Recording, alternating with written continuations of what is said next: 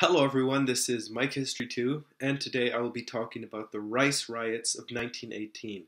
And yes, that is correct, not the race riots, the rice riots of 1918.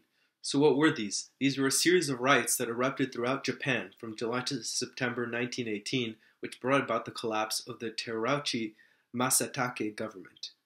So, why were these riots happening in the first place?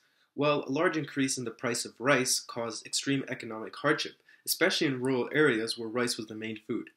Farmers who compared the low prices they were receiving from government regulation with the high market prices were very hostile to rice merchants and government officials who'd allowed the price to spiral out of control. Inflation was also spiraling out of control, which also affected most consumer goods and rents, and so city dwellers were also angry.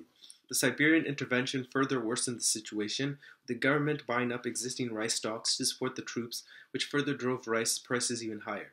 The government intervention in economic affairs caused rural protests to spread to towns and cities.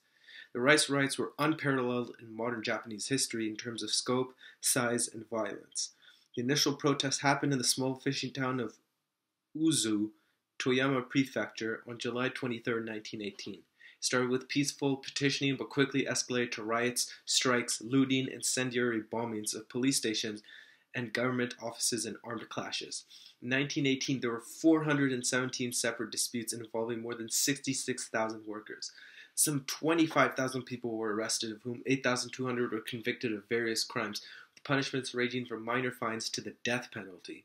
Taking responsibility for the collapse of public order, Japanese Prime Minister Terauchi and his cabinet resigned, on September 29, 1918. So that was a really short video, but thanks for watching. Don't forget to like, subscribe, and share, and I'll see you next time.